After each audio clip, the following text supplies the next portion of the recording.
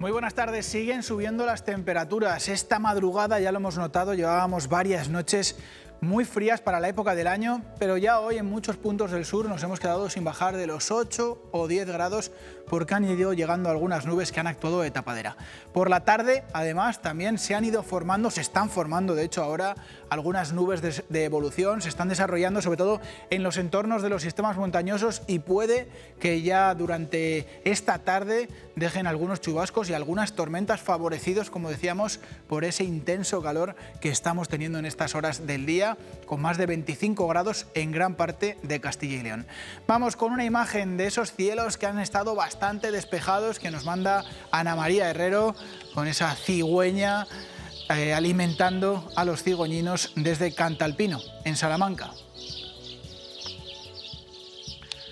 Cielos que han estado bastante despejados debido a que teníamos ese anticiclón entrando en forma de cuña, lo veíamos en el mapa en superficie, pero también vemos cómo se están formando esas manchas azules en zonas de la cordillera cantábrica, también el sistema ibérico, Pirineos y puntos del sistema central. Y precisamente los modelos nos muestran que esas manchas azules son la precipitación.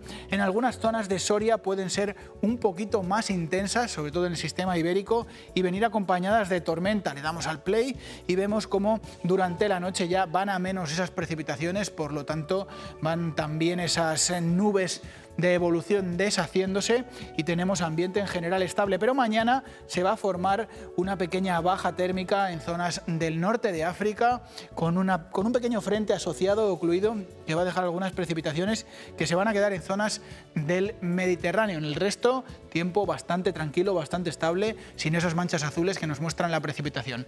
Además, vemos en el mapa de temperatura en altura a 1500 metros de nosotros sobre nuestras cabezas como esos tonos anaranjados van oscureciéndose, van intensificándose y eso nos muestra temperaturas cada vez más altas, ahí lo vemos, con valores que van a superar hoy en algunas zonas los 30 grados y mañana también podríamos alcanzar o superar esa barrera de los 30. Además podemos ver como hoy por la tarde los cielos siguen bastante despejados o poco nubosos y van a seguir así durante las próximas horas en muchos puntos de Castilla y León, sobre todo en la meseta. Pero lo que habíamos dicho antes, las nubes de evolución en los entornos del sistema central, también del sistema ibérico y de la cordillera cantábrica pueden desarrollarse lo suficiente como para dejar algún chubasco y alguna tormenta. Las temperaturas ya están por encima de los 25 grados en algunas zonas. Sí que es verdad que en los puntos con más nubes se quedan un poquito más cortas porque no tienen tanto sol calentando la superficie. Y aquí vemos precisamente la acumulación de precipitación que se espera para el día de hoy. Se van sumando esos litros y estas son las zonas donde se espera que llueva durante las próximas 24 horas. En general lo que decíamos, se queda sobre todo en zonas de montaña y acumulaciones pueden ser un poquito mayores en zonas del este, sobre todo del sistema central o también del sistema ibérico, donde las acumulaciones pueden ser superiores a los 5 litros por metro cuadrado pero no sería mucho más. Vemos como a nivel nacional veíamos ese frente ocluido que se iba formando en el sur de España, que puede dejar mañana algunas precipitaciones, pero en el resto tiempo bastante más tranquilo, temperaturas que en el norte van recuperándose, subiendo, ya alcanzando y superando esa barrera de los 25 grados, incluso superando también los 30 en zonas del Valle del Ebro. En el sur, en cambio, con todas esas nubes, esas precipitaciones que refrescan el ambiente, van bajando un poquito las temperaturas, aunque bueno, en puntos de Andalucía, de Extremadura y también de la meseta sur siguen estando por encima de los 30 grados.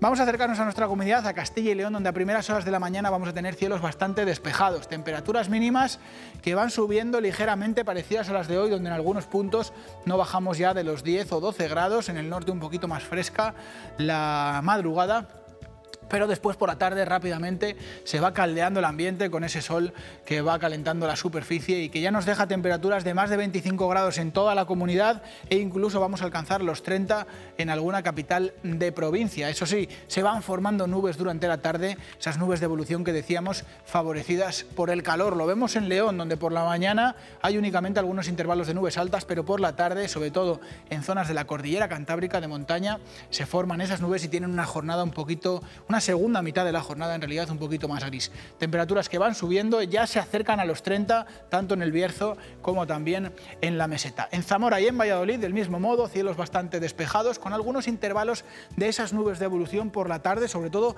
van llegando desde el sistema central a zonas del sur de Valladolid, en el resto se notan menos y esas temperaturas van subiendo y ya vemos cómo en algunos puntos de la ribera del Duero pueden alcanzar o incluso superar los 30 grados para el día de mañana. En Salamanca y en Ávila, del mismo modo, cielos despejados por la mañana con algunas nubes de evolución, sobre todo en los entornos del sistema central y la Sierra de Béjar por la tarde. Temperaturas que van subiendo y también superamos los 30 grados o los alcanzamos, por ejemplo, en la capital salmantina y también cara sur del sistema central y el Valle del Tietar. En Palencia y en Burgos, tiempo bastante estable, cielos despejados por la mañana, por la tarde se van desarrollando esas nubes, pueden dejar escapar alguna gota en zonas de montaña ya lo hemos dicho anteriormente, también en el sistema ibérico sería muy, muy poca cosa, con esas temperaturas que van subiendo y que precisamente van favoreciendo ese desarrollo de esas nubes de evolución. 30 grados en el sur de Palencia, 30 grados también o muy cerca vamos a estar en algunas zonas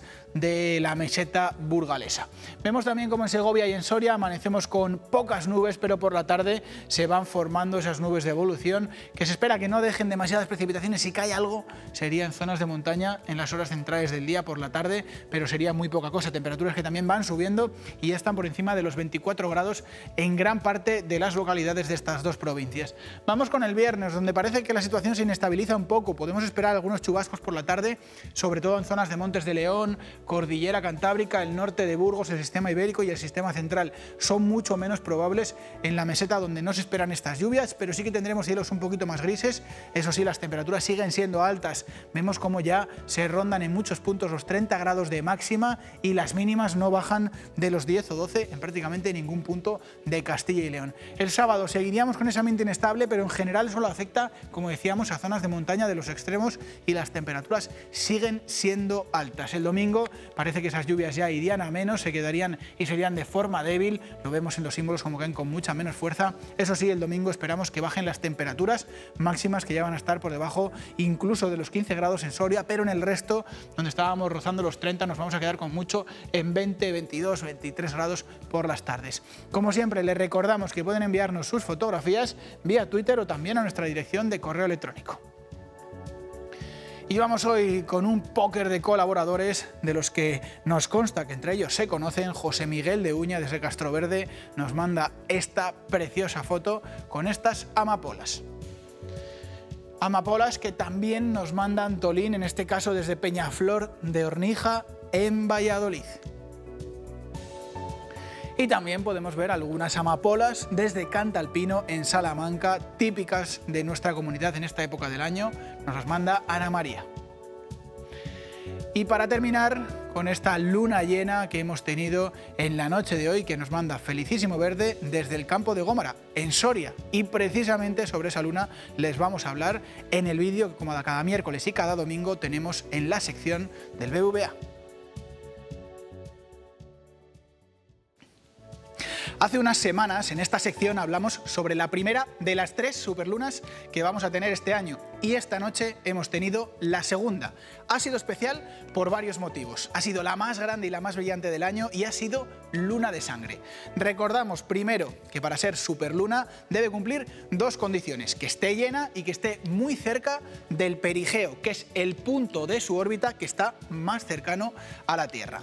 Las superlunas pueden ser hasta un 30% grandes y más brillantes que las lunas llenas normales y en esta ocasión se apoda como superluna de flores por producirse en el mes de mayo. Pero también ha sido luna de sangre o luna roja debido a que se ha producido un eclipse lunar. Es decir, la Tierra se ha colocado entre el Sol y el satélite, que en vez de recibir su luz de forma directa, esa luz se dispersa en la atmósfera terrestre y al dispersarse tiene ese tono rojizo.